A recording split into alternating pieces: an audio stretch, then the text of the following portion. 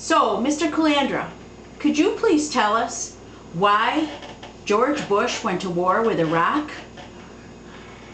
Because he tried to kill my daddy.